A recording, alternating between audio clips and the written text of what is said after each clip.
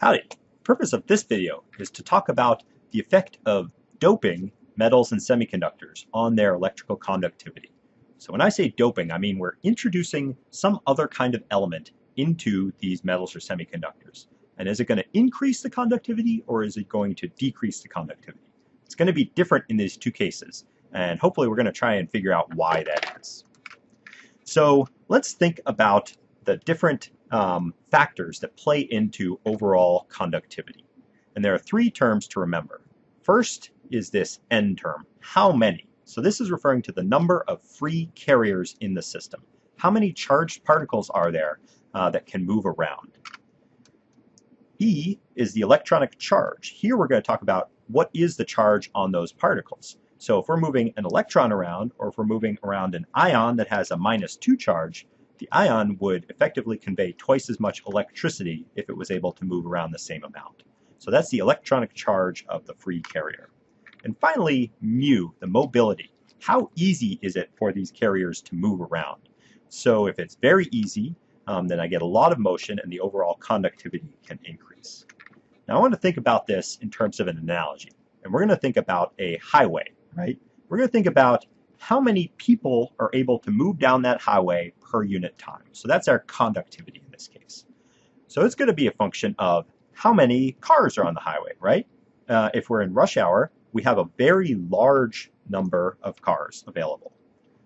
How many passengers per vehicle are there?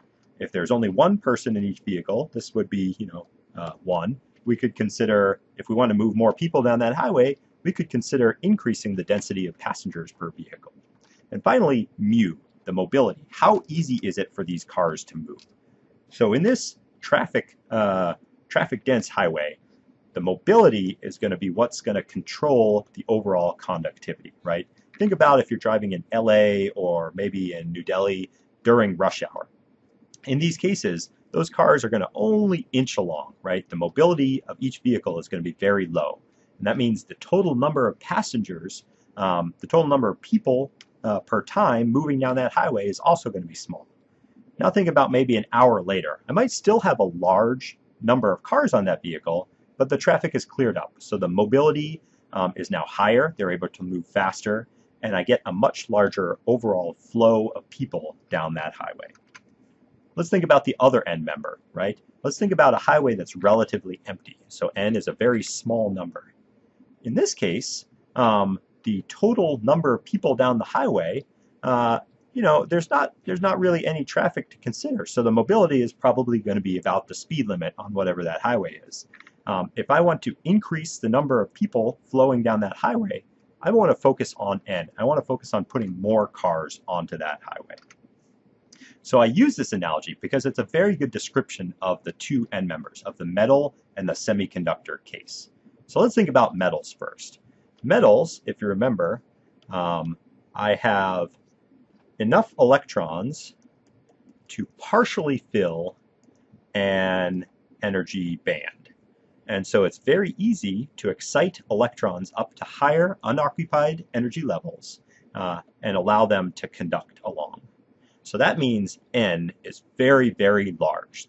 The number of free carriers in copper, in aluminum, in all these metals is a very large number. What limits the metals is this mobility. So if those electrons are able to travel relatively easily without scattering, they could have a high mobility and the conductivity, overall conductivity could be high. If there's something that I introduce that's causing those um, car, those, sorry, not cars, those electrons to scatter and not flow very easily, then that could decrease the mobility, decreasing the overall conductivity. And when I talk about doping or conductivity in alloys, that's exactly what happens. So we're going to think about an example. Um, nichrome wire. This is a metal wire that's oftentimes used for resistive heating. And it's nice because we can control the resistivity very easily by controlling the percent of chromium in the system. Um, so I see if I have a pure nickel wire, my resistivity is low. That means my conductivity is high. As I start increasing the percent of chromium in that, the resistivity increases dramatically. What am I doing?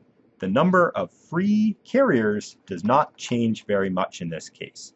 In metals, I have plenty of free carriers. That's not the limiting factor.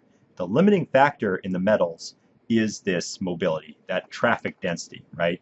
So if I start thinking about a picture of pure nickel, and let's start introducing some chromium defects. You know, the electrons are moving along, they're flowing, but when they hit this defect, they're more likely to scatter. And that makes it more difficult for the electrons to flow through the system. The more chromium atoms I have in here, the more potential defects there are that will scatter electrons. So the result is as I increase the chromium concentration, the overall resistivity increases. Now this is kind of weird because if I thought about a system where I go all the way from pure nickel to pure chromium, these are both metals. And so their overall resistivity of pure nickel is quite low, and the resistivity of pure chromium is also quite low. But once I start alloying it, I increase that resistivity dramatically.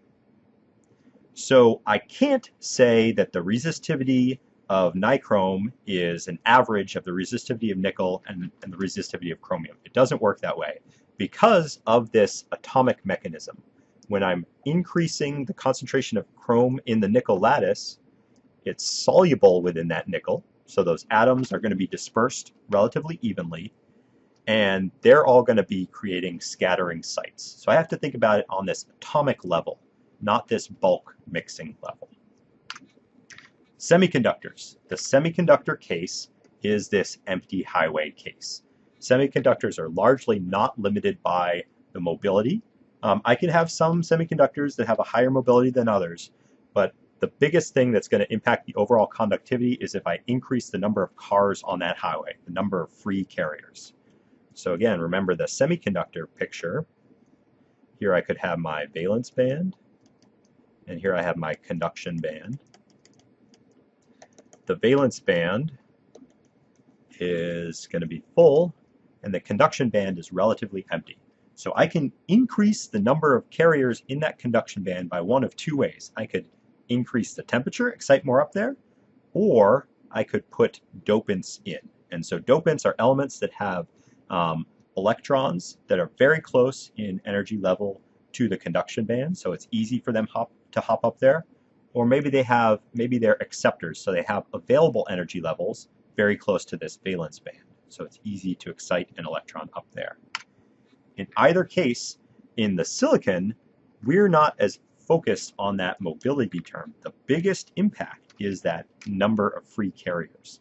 And so if I look at a plot of resistivity um, by the concentration of acceptors or donors so two different types of um, dopants that I could use, I find that the resistivity drops as I increase the number of these dopants. And in fact, uh, early on, it's about a one-to-one ratio. So for each dopant, um, so if I increase the dopants by one order magnitude, so from here to here, I decrease the resistivity by almost one order of magnitude. It's a little bit less. And it's less because there is some impact on the mobility. You know, again, I'm introducing defects, um, and they are, um, you know, they are providing scattering sites. The biggest thing is that the number of dopants that I'm talking about is much less than in that metal alloying case. So 10 to the 15th per centimeter cubed is still part per million type range rather than 1 to 10%, like in that nichrome wire example. Okay, so in summary, the resistivity is going to increase in metals with the concentration of dopants. And that's because those dopants are scattering the free carriers um, and is decreasing the overall mobility, which decreases the conductivity, increases the resistivity. Um, on the other hand, in semiconductors, the resistivity is going to decrease with the concentration of dopants. And in this case, it's because largely we're changing n. We're changing the number of carriers, and we're having a much bigger impact on n than we are on the mobility in the system.